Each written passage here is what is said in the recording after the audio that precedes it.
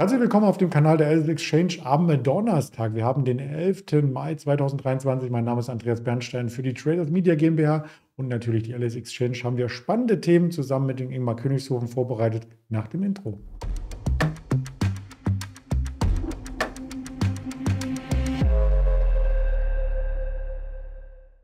Das Ganze auch mit Präsentationsslides untermauert und natürlich mit dem Hinweis, dass wir keine Handelsempfehlung aussprechen, keine Anlageberatung tätigen, sondern nur objektiv über den Markt sprechen. Und da schalte ich gleich mal den Ingmar dazu. Hallo Ingmar. Hi Andreas, grüß dich. Ja, wir hatten gestern erstmalig mal wieder ein Minus. Die Tage davor, ja, die waren ja plus minus null. Letzte Woche war recht stark äh, aus der Woche gegangen und wir haben extra mit dem Interview heute so lange gewartet, bis der DAX ins Minus läuft. Ja, das haben wir von daher sehr, sehr gut gemacht. Endlich kommt mal wieder etwas Bewegung auf. Wir hatten beim letzten Mal ja schon darüber gesprochen, dass das eine sehr zähe Angelegenheit ist. Es läuft die ganze Zeit hin und her zwischen 15.700 Punkten etwa und 16.000 auf der Oberseite, also 300 Punkte Spanne, die wir die letzten Wochen gesehen haben. Jetzt äh, kann man nur hoffen, dass jetzt diese Bewegung, die wir jetzt mal sehen heute, dass die mal nachhaltiger ist und der Markt vielleicht auch mal unter die 15.700 Punkte Marke besser noch unter die 15.650 Punkte Marke fällt, denn dann wäre etwas mehr Abwärtspotenzial gegeben, dann würde die Volatilität auch wieder ansteigen und es gäbe wieder etwas mehr Action. Ja, gestern kamen ja äh, Zahlen, Verbraucherpreise wurden verkündet in den USA, die waren etwas besser als erwartet, ganz leicht besser. Daraufhin ist der Markt ja zumindest mal kurzfristig 50, 60 Punkte angesprungen. Also ich rede jetzt über den DAX, kam dann aber auch wieder unter Druck. Ähm, ja, und wie immer, zunächst einmal ging es dann abwärts, aber zum Handelsende hin äh, lief der Markt auch wieder nach oben. Und wir haben dann wiederum keine große Veränderung gesehen auf Tagesbasis. Jetzt heute kamen die Erstanträge auf Arbeitslosenhilfe, die waren deutlich schlechter, als das erwartet wurde. Dementsprechend zumindest jetzt mal etwas Bewegung. Und wie ich eben schon gesagt habe, wichtig wäre aus charttechnischer Sicht, dass jetzt die 15.650 Punkte Marke mal nach unten durchbrochen wird. Zumindest, wenn man auf der Short-Seite unterwegs ist, so wie ich. Ansonsten äh, müsste man natürlich warten, dass es einen Ausbruch über die 16.000 Punkte Marke gibt. Aber ich gehe momentan weiterhin davon aus, dass wir eher nach unten weglaufen werden. Das liegt an mehreren Faktoren. Das liegt zum einen an der Saisonalität, die dann ab Mitte des Jahres auch eher negativ ist, bis Ende September, Anfang Oktober. Auch vom Vierjahreswahlzyklus her eher ab Mitte des Jahres dann abwärts. Und wenn wir uns noch den CNN4 Greed Index aus den USA anschauen, dann sehen wir eben, dass die Marktteilnehmer zuletzt wieder gierig geworden sind. Und das als Kontraindikator zeigt auch an, dass die Shortseite zu favorisieren ist. Also meiner Meinung nach wird die 15.650 Punkte Marke nach unten durchbrochen. Und dann eben könnte man darauf spekulieren, dass zumindest mal der Markt einige hundert Punkte fällt mit gewissen Zwischenstops. Also 15.400 wäre so dann das erste Kursziel und danach 15.250 bis 15.200 Punkte. Und das ist natürlich Unterstützungszone, die wir aus dem Februar noch kennen. Da lief es ja auch relativ lange seitwärts, war eine sehr zähe Angelegenheit. Aber bis dahin könnte der Markt dann durchaus auch innerhalb von kürzester Zeit mal fallen. Wenn du den and Creed Index erwähnst, äh, der ist ja schon im Gear-Bereich äh, die ganzen letzten Wochen und der Nasdaq hat sogar gestern neues Jahreshoch gemacht. Also das Einzige, was ich short gesehen habe gestern, waren äh, die Inflationsdaten. genau, also das muss man natürlich immer wieder beachten und das sage ich auch immer wieder. Dieses äh, Sentiment und auch die anderen Vorfilter wie die Saisonalität, das sind natürlich keine perfekten Timing-Instrumente. Es geht immer darum, die Dinge zu kombinieren und wie gesagt, jetzt aufgrund der Tatsache, dass es saisonal auch jetzt so ein Umfeld ist, äh, wir kennen ja alle den Ausspruch Sell May and Go Away. Also das wird jetzt ein schwierigeres Umfeld eventuell für den Aktienmarkt und in Kombination mit dem Sentiment könnte das zumindest mal dazu führen, dass hier auch mal ein Rücksetzer eintreten könnte. Und wir schauen uns auch den Fear and Creed Index aus Germany an. Der hat als Basis die Tagesschlusskurse, also die von gestern. Ich bin gespannt. Da war auch die ganze Zeit Kauf Kaufdrang. Und so auch heute. Also alles äh, positiv und da kann man tatsächlich sich zurücklehnen und vielleicht auch mal einen guten Film schauen. Äh, vielleicht auch zum zehnten Mal Ariel die Meerjungfrau und was es noch so bei Disney gibt. Ähm, hast du Netflix oder Disney Plus im Angebot oder Sky vielleicht? Also Sky und Netflix habe ich tatsächlich. Äh, Disney Plus ist jetzt, glaube ich, nicht so das, wo ich mich aufhalte. Aber ähm, ich habe ehrlich gesagt auch noch nie dort reingeguckt, weiß daher nicht, ob es dort Filme gibt, die mich interessieren könnten. Aber Ariel, die Meerjungfrau, gehört natürlich nicht dazu. Klingt spannend, dachte ich für dich. Ansonsten Star Wars, diese ganzen Star Wars-Ableger, das ist ja auch alles, was, was bei Disney ähm, entstanden ist. Und ja, die Aktien ähm, an sich, die hatten sich ja noch ganz gut wieder aus der Pandemie heraus erholt, aber eher wegen den Themenparks und weniger wegen dem Streaming, oder? Genau, die Themenparks liefen natürlich äh, nach der Wiedereröffnung sozusagen sehr gut und das war das auch, was im letzten Quartal tendenziell gut lief, weil natürlich viele wieder raus wollen und sich diese Themenparks natürlich auch anschauen möchten und ein Erlebnis haben wollen, wenn sie eben die letzten Jahre dann teilweise auch eher zu Hause verbracht haben und auch gar nicht die Möglichkeit hatten, hier entsprechend dann auch mal tätig zu werden, ähm, ein Erlebnis zu erfahren.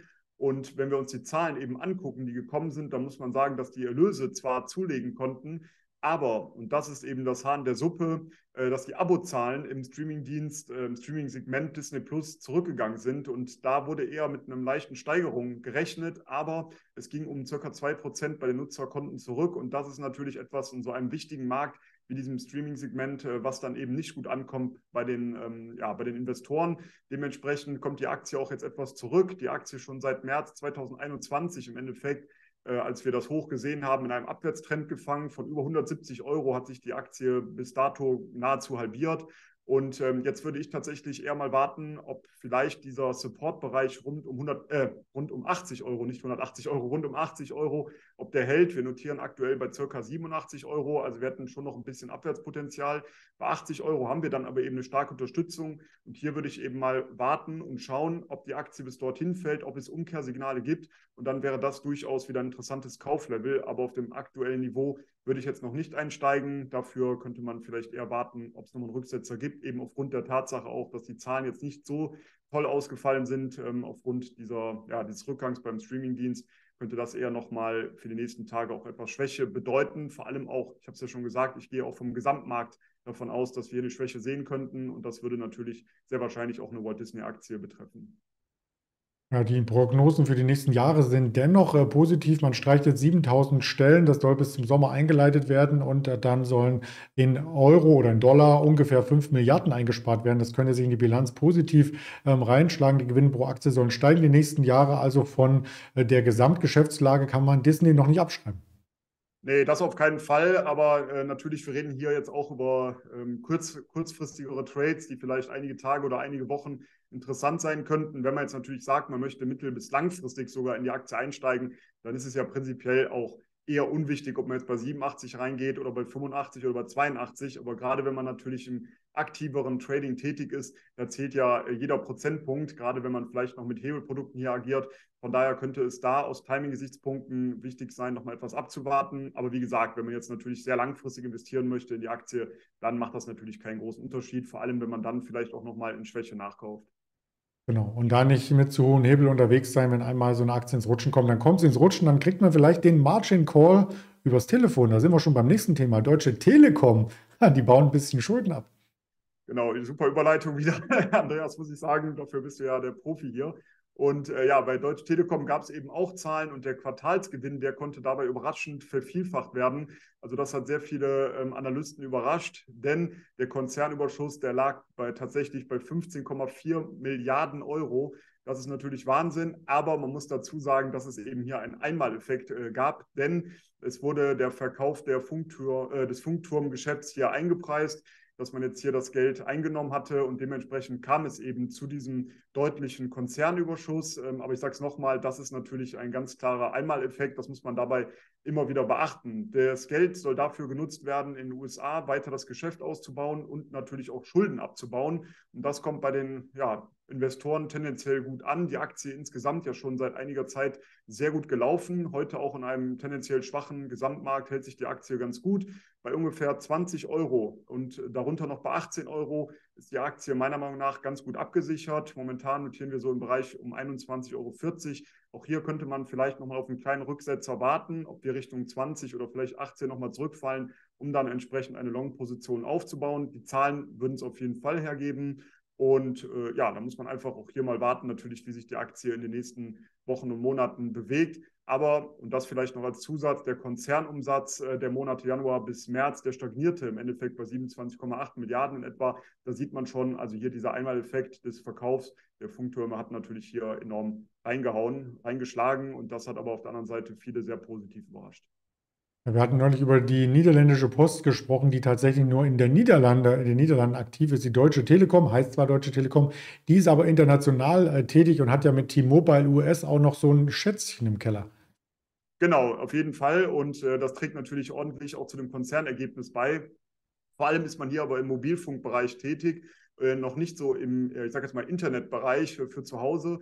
Und dafür könnte natürlich das Geld dann auch genutzt werden, um hier im Endeffekt ein, ja, das Ganze auszubauen und dann noch Marktanteile zu gewinnen. Und gerade bei diesem sehr, sehr wichtigen Markt natürlich könnte das dazu führen, dass in Zukunft auch die Gewinne bzw. die Umsätze deutlich anziehen könnten. Also langfristig auf jeden Fall interessant. Ich glaube, der ein oder andere ist wahrscheinlich, wie wir auch, äh, noch geschädigt aus der neuen, neuen Marktzeit, wo man die Aktie gekauft hat und dann lief es jetzt jahrelang seitwärts. Aber man sieht schon, die Aktie bewegt sich jetzt schon seit einiger Zeit leicht aufwärts und das äh, könnte natürlich dazu führen, dass wir hier mal einen langer, längerfristigen Trend auch mal sehen könnten. Und dementsprechend könnte das durchaus interessant sein für die Long-Seite.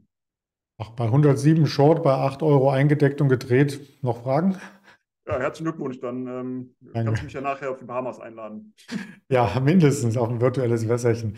Aber äh, Spaß beiseite. Natürlich ähm, gab es da äh, starke Kurseinbrüche, die aber durch die Dividende rein rechnerisch schon ausgeglichen ist. Aber lass uns das nicht vertiefen. In diesem Jahr 14 Prozent im Plus und damit im Grunde genommen wie der DAX von der Performance her. Ähm, lassen Sie in die zweite Reihe gerne schauen und da mal hineinstechen bzw. hinfahren zu Sixt. Die schaffen es nämlich, die Preise kontinuierlich anzuheben dachte schon, du sagst jetzt Überleitung, dass man auf den Bahamas ja vielleicht auch ein Auto braucht und dazu bei Six natürlich eins mieten könnte. Also, ähm, jetzt habe ich mal die Überleitung gemacht. Six gab eben auch äh, Zahlen bekannt. Hier sieht es eben danach aus, dass die Reiselust der Konsumenten weiterhin besteht. Wir hatten es eben schon mit den Themenparks, dass viele eben jetzt unterwegs sein wollen. Und wenn man auf Hotelbuchungen, Flugbuchungen und so weiter guckt, dann sieht man eben, ja, dass die Reiselust äh, unge unbändig ist oder ungebunden, naja, äh, auf jeden Fall äh, weiter ansteigt. Und ähm, das bekommt natürlich auch Six zu spüren, positiv zu spüren. Dementsprechend konnte der Umsatz in den ersten drei Monaten um circa ein Fünftel gesteigert werden auf 695 Millionen Euro, immer im Gegensatz zum Vorjahreszeitraum. Aber auch Six hat natürlich die gestiegenen Kosten, ähm, ja, oder spürt die gestiegenen Post, äh, Kosten für zum Beispiel Personal und Investitionen. Dementsprechend äh, muss man auch hier mal abwarten, wie sich das die ganze Geschäft in den nächsten Wochen und Monaten entwickelt. Aber es sieht eben positiv aus, da man davon ausgeht, dass das Geschäft in den nächsten Monaten aufgrund der gestiegenen Nachfrage weiter nachhaltig sein wird. Die Aktie, die läuft schon seit einiger Zeit eher seitwärts bis leicht abwärts. Auch hier würde ich zunächst einmal abwarten, ob ein Ausbruch nach oben stattfindet ähm, oder eben, ob wir an einer wichtigen Unterstützung unten vielleicht äh, auch mal wieder nach oben drehen. Also wir notieren momentan bei ungefähr 111 Euro. Bei 100 Euro haben wir eine wichtige Unterstützungszone. Sollten wir dahin fallen, könnte das antizyklisch ein interessanter Trade werden. Oder aber man wartet ab, ob wir über das letzte Zwischenhoch ansteigen. Das war bei ungefähr 116 Euro der Fall. Sollten wir darüber ansteigen, dann könnte es eben auch ein entsprechender Long Trade werden. Aber da wir da momentan so ein bisschen, ich sage jetzt mal aus charttechnischer Sicht, im Niemandsland sind, würde ich jetzt nicht einfach auf aktuellem Niveau einsteigen, sondern zunächst einmal warten, ob es hier einen Ausbruch äh, nach oben gibt aus dieser Seitwärtsrange, die wir schon seit längerem gesehen haben, oder aber ob wir Richtung 100 Euro einer wichtigen Unterstützung fallen und dann könnte es, wie gesagt, antizyklisch natürlich für die Long-Seite ebenfalls interessant werden. Ja, tatsächlich sind mehrere Analysten nach den Zahlen nochmal mit Kurszielen rausgekommen und hatten die Ziele ähm, angehoben oder zumindest auf einem hohen Niveau gelassen. Also das sieht äh, positiv aus. Was gibt es noch für Quartalszahlen? Wir haben heute natürlich auch noch die JD.com bekommen. Die können wir vielleicht morgen beleuchten und eine Fiverr vorbürstlich. Und weitere Daten der Woche sind hier auf der Übersicht zu sehen, sowie von den Wirtschaftsdaten her, da kommt gar nichts mehr. Erdgaslagerbericht jetzt parallel zu unserem Interview und dann am Abend noch ein paar Staatsanleihenemissionen, die sind ja auch ein bisschen zurückgekommen, die US-Staatsanleihen nach den Verbraucherpreisdaten. Erzeugerpreise hatten wir heute auch schon auf der Agenda und die weiteren Daten gibt es auf den Social-Media-Kanälen sowie morgen auch wieder ein Interview. Ich freue mich drauf und bedanke mich bei dir, Ingmar Königshofen, und wünsche mal einen schönen Feierabend. Wünsche ich ebenso und ich sehe gerade mit einem Auge, dass der Markt weiter unter Druck kommt. Also darauf achten, die 15,7, 15,650 äh, könnten jetzt in Kürze dann auch erreicht werden. Wir stehen gerade bei 15.760, also es bleibt spannend kann aber schneller gehen, als man manchmal denkt. Und vielleicht noch als kleiner Hinweis, äh, weil natürlich die letzten Wochen auch sehr zäh waren. Das habe ich dann auch mitbekommen von einigen Tradern, dass sie dann denken, sie müssten irgendwas machen. Es gibt diese Marktphasen, manchmal ist es zäh, dann kommt die Wohle aber auch wieder zurück und dann muss man zur Stelle sein. Aber dann wird natürlich auch irgendwann wieder eine zähe Phase darauf folgen. Aber jetzt ist, glaube ich, die Zeit langsam wieder gekommen, wo die Wohle auch wieder ansteigt. Also jetzt aufpassen und äh, ja, viel Erfolg natürlich in den nächsten Tagen und nächsten Wochen beim Trading. Und ich freue mich dann auf nächste Woche Donnerstag zum nächsten Interview und wünsche dir natürlich auch einen schönen, angenehmen Nachmittag noch, Andreas. Haben wir. Danke. Ciao.